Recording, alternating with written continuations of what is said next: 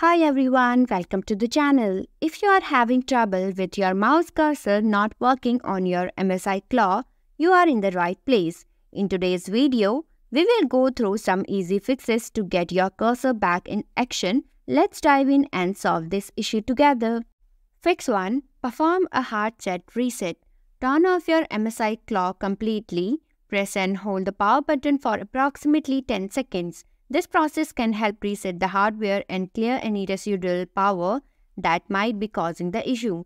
Turn the device back on and check if the mouse cursor is now functioning correctly.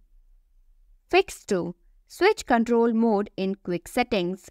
Press the quick settings mode. Switch the control mode from gamepad to desktop. After switching the mode, restart your device to apply the changes and see if the cursor starts working.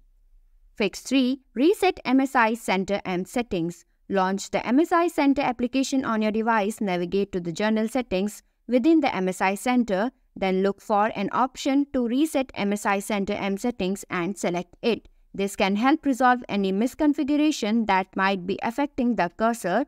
After resetting, restart your device to ensure the changes take effect. Thanks for watching. If you liked the video, please hit the like button if you want to see more videos, hit the subscribe button.